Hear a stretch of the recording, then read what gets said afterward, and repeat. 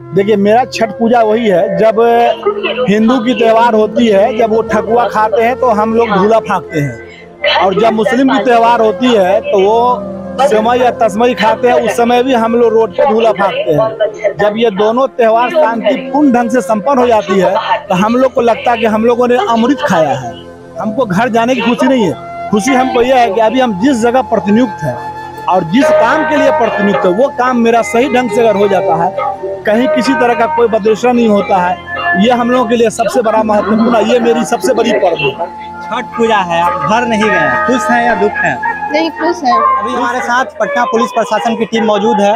Sir कल के लिए पटना पुलिस के प्रशासन की तरफ़ से क्या क्या सुरक्षा को मद्देनजर रखते हुए इंतज़ाम है? देखिए पटना पुलिस की तो सुरक्षा के दृष्टिकोण से छठ पर्व की सुरक्षा के लिए हर तरह से मुस्तैद है। चाहे जो भी परिस्थिति है उससे निपटने के लिए हम लोग सुरक्षा के दृष्टिकोण से हर तरह से तत्पर हैं।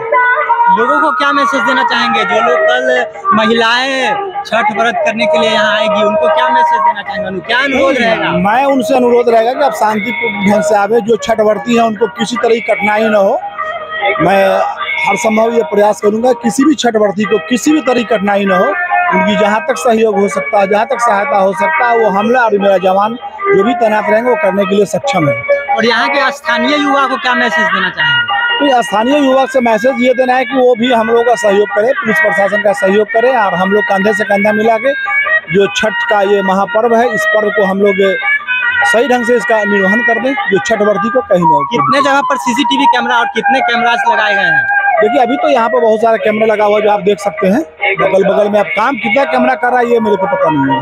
आप यहाँ बैठ के निगरानी कर रहे हैं और भी निगरानी कक्ष है यहाँ पे एक ही निगरानी कक्ष देखिए नहीं निगरानी कक्ष यहाँ पर दो बना है ये तो नियंत्रण कक्ष है। अभी तो हम लोग तो सुबह आठ बजे से ही हम लोग पूरा जो गंगा स्नान चल रहा था उस समय से ही हम लोग काम कर रहे हैं यहाँ पर। और मेरे बड़े पदाधिकारी भी यहाँ बार बार आ रहे हैं चेक कर रहे हैं देख रहे हैं।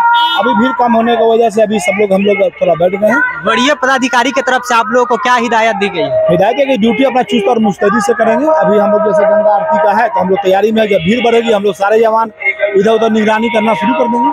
जी पूरी ईमानदारी से आप लोग अपना काम एकदम पूरी ईमानदारी से हम लोग और चुस्ती मुस्तैदी से अपना काम करने के लिए एकदम बिल्कुल तत्पर है। सर धन्यवाद सर। आप लोग भी पूरा मेहनत करते हैं।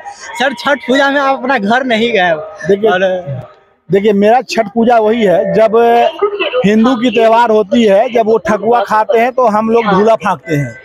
और जब मुस्लिम की त्योहार होती है तो वो सेवई या तस्मई खाते हैं उस समय भी हम लोग रोड पे धूला फाँकते हैं। जब ये दोनों त्योहार शांतिपूर्ण ढंग से संपन्न हो जाती है तो हम लोग को लगता है कि हम लोगों ने अमृत खाया है। इससे बढ़ के हम लोगों के लिए खुशी कुछ नहीं है। जो मेरा त्योहार शांतिप्रिय ढंग से अगर गुजर जाता है ये हम लोगों के लिए बहुत बड़ी खुशी है। हमको घर जाने की खुशी नहीं है।